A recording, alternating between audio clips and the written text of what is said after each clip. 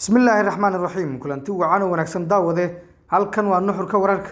Waxaad ku soo biirtaa oo aad ku soo dhawaataa xogo iyo warbixino aan idinkugu hayno halkan.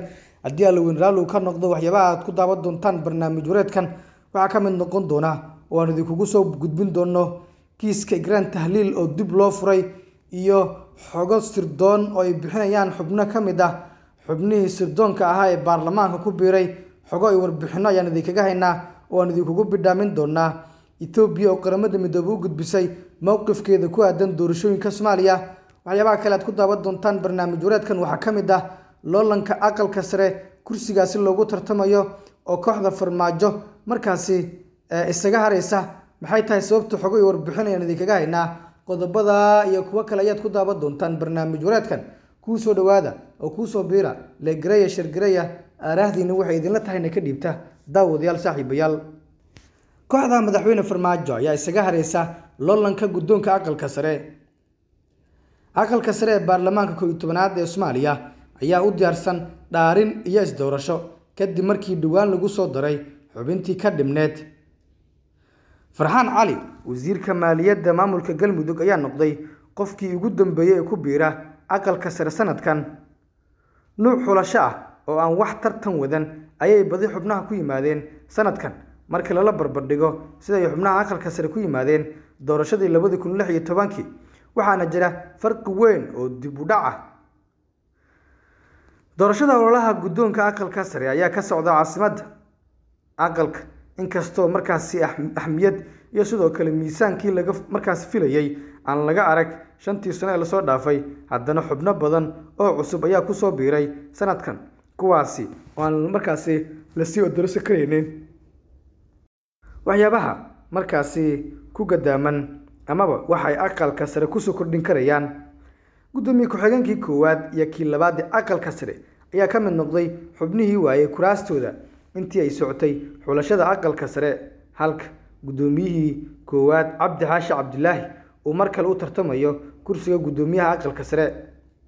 Kooxda madaxweyne farmaajo ayaa la sheegayaa inay macquul tahay inaysan waqti badan iyo qarash iska gelin loolanka guddoonka aqalka sare lababa sabood oo muhiim ah ayaana loo dhaliishanayaa amaba loo daliishanayaa dib markaasi gurashadoodan. Kow ahmiyadda aqalka sare. Madaxweyne farmaajo iyo kooxdiisa oo dalku xukumaya shantii sane ee la soo dhaafay waa laga haystay aqalka sare maadaamaay ku badnaayeen odayaal siyaasadda ku gaamuray kuwaasi oo jeebkooda ka weyn. Kooxdu waa awoodi weysay inay aqalka sare danaheeda ka iibiso balse waxay markaasi dib ka qaateen aragti ah in aqalka sare la inkiro oo mid daciif ah laga dhigo taasi beddelkeedana xiriir iyo wada shaqayn joogto ah lala yeesho golaha shacabka. Dhaqdhaqaaq ay markaasi mucaaradka markaasi ka dhex sameeyeen golaha shacabka ayaa keenay in kooxda madaxweyne farmaajo toos u beegsato hoggaanka golaha shacabka isagoo meesha ka saaray maxamed sheekh cusmaan jawaari guddoomiyihii hore ee baarlamaanka soomaaliya waxay ku guuleysteen inay golihii shacabka hoggaankiisa qaataan oo ay dhinaca kalena neef bixiyaan aqalka sare.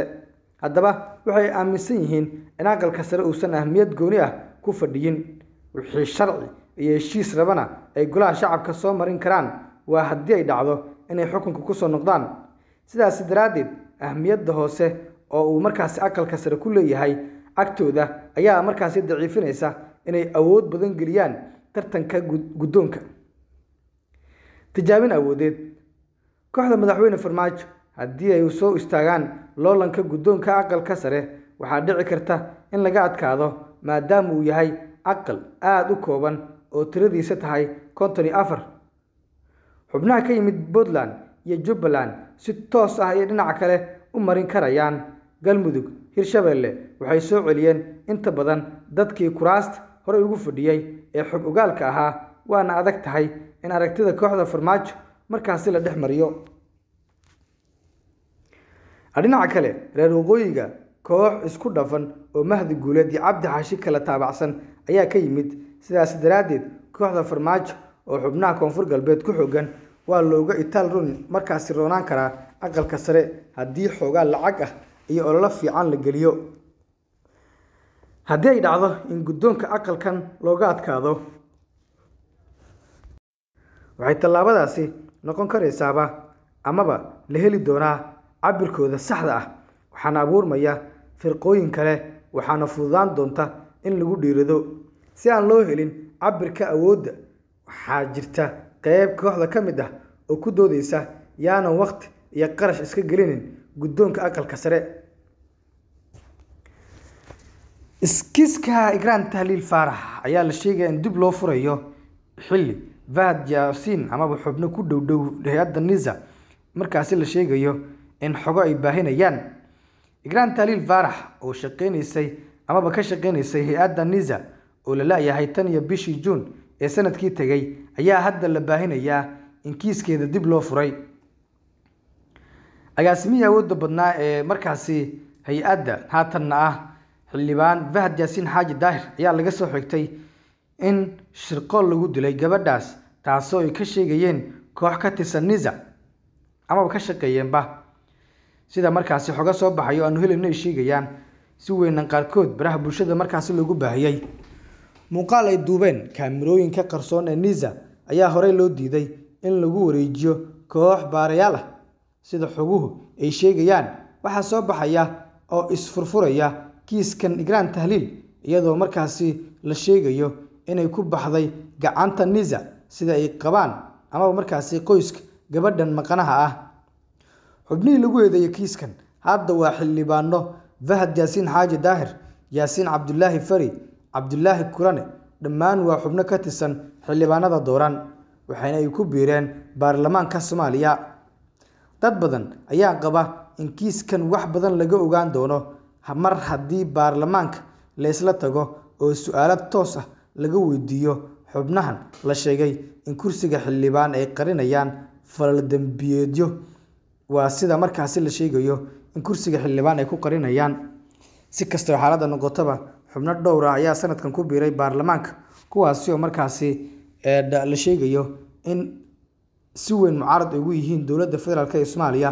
Waxaana ka mid ah cabdiraxmaan cabdishakuur warsame kaasi oo haddii kursiga madaxweynenimo uu waayo ay noqon doonto in xubno badan oo dhowr ah uu markaasi su'aalo ka weydiin doono markaasi arrimo badan oo dhowr ah golaha dhexdiisa.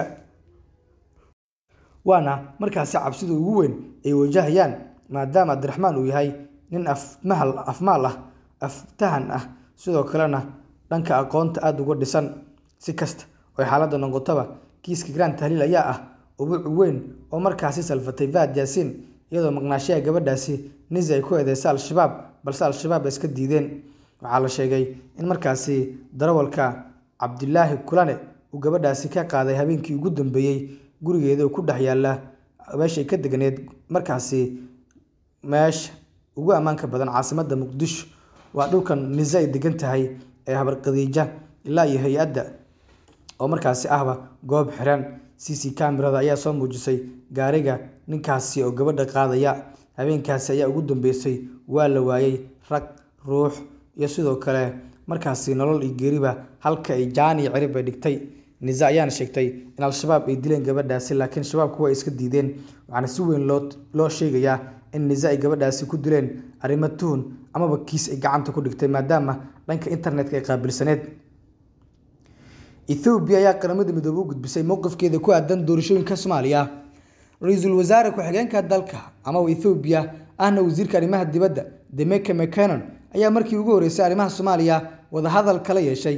Ergeyga gaarka ah xogayaha guud ee qaramada midoobey u qaabilsan soomaaliya james wan labada dhinac ayaa ugu horeyntii ka wada hadlay doorashada soomaaliya iyadoo demeke mcanon uu sheegay ergeyga gaarka ah in ethoobiya si dhow ula socoto doorashada soomaaliya. Ra'iisul wasaare ku-xigeenka ayaa bogaadiyey hanaanka ay ku socoto doorashada soomaaliya isaga oo sheegay in xukuumaddiisu ay ku faraxsan tahay sida ay wax u socdaan. Labada dhinac ayaa sidoo kale wada hadlay dib u habeenta ciidamada nabad ilaalinta midooda afrika ee soomaaliya amisom iyo baahida loo qabo in laga hortago weerarada kooxda al-shabaab. Demeken ayaa markaasi sheegay in wada shaqeyntu ay lama huraan u tahay si looga hortago isku dayga kooxda al-shabaab ee ku aadan ka faa'iidaysiga xaaladda taagan oo ay ka mid yihiin arrimaha doorashada soomaaliya iyo abaaraha ka jira deegaanka. Halkan waa nuxurkeenna baadiino